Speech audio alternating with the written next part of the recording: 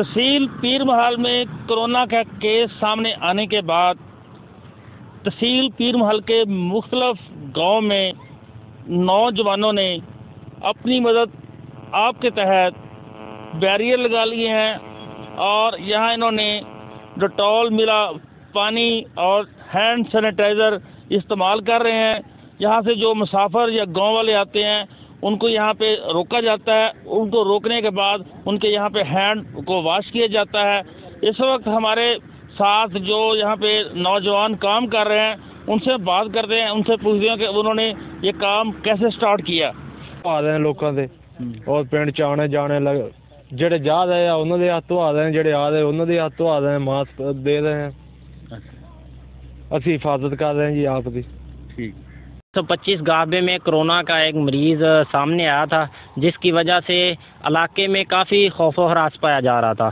تو نوجوانوں نے مل کر ایک ہم نے مشورہ کیا ہے کہ ہم اپنے گاؤں کو اس وبا سے محفوظ کرنے کے لیے، اپنے اہل دے کو اس وبا سے بچانے کے لیے ہم نے یہ بیریئر لگائے ہیں۔ تاکہ جو بندے فضول گاؤں سے باہر جا رہے ہیں، جو آ رہے ہیں، ان کو ہدایت کریں کہ برائے مہربانی اپنے گھروں میں رہیں اور ہر آنے جانے والے کے ہاتھ وہ ہم سینیٹائزر سے صاف کروا رہے ہیں تاکہ یہ وبا باہر سے ہمارے گاؤں میں نہ آئے۔ اور ہم اللہ تعالیٰ سے دعا کرتے ہیں کہ ہمارا ملک پاکستان اس وبا سے بچ سکے۔ اس یہ وبا ہمارے پاکستان سے اللہ تعالیٰ ختم کر دے اور ہمارے اہل دے کو بھی اس سے محفوظ رکھے۔ ਤਿੰਨ ਸੌ ਪੱਚੀ ਗਾਬੇ 'ਚ ਇੱਕ ਕੇਸ ਨਜ਼ਰ ਆਇਆ। ਉਸ ਲਈ ਉਸ ਦੀ ਵਜ੍ਹਾ ਨਾਲ ਕਰਕੇ ਅਸੀਂ ਇਹ ਬੈਰੀ ਲਵਾਇਆ ਲਾਇਆ ਕਿਉਂਕਿ ਸਾਡੇ ਸਾਡੇ ਪਿੰਡ 'ਚ ਐਸਾ ਕੇਸ ਨਾ ਨਿਕਲ ਸਕੇ। ਅਸੀਂ ਕਰਕੇ ਅਸੀਂ ਆਪਣੇ ਪਿੰਡ ਦੀ ਹਿਫਾਜ਼ਤ ਕੀਤੀ ਹੈ ਤੇ ਬਾਹਰੋਂ ਕੋਈ ਬੰਦਾ ਨਹੀਂ ਅਸੀਂ ਆਉਣ ਦਿੰਦੇ ਆਪਣੇ ਪਿੰਡ 'ਚ। ਚੈੱਕ ਪੋਸਟ ਕਰਦੇ ਹਾਂ ਸਾਰੇ ਦੇ ਕੌਣ ਹੈ ਕੌਣ ਨਹੀਂ।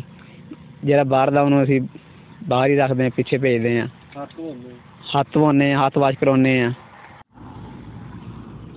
جیسا کہ آپ نے ان نوجوانوں کی باتیں سنی ہیں، اگر ہمارے یہ نوجوان اسی جذبے کے ساتھ کام کرتے رہے، تو وہ وقت دور نہیں، جب کرونا پاکستان سے ختم ہو جائے گا۔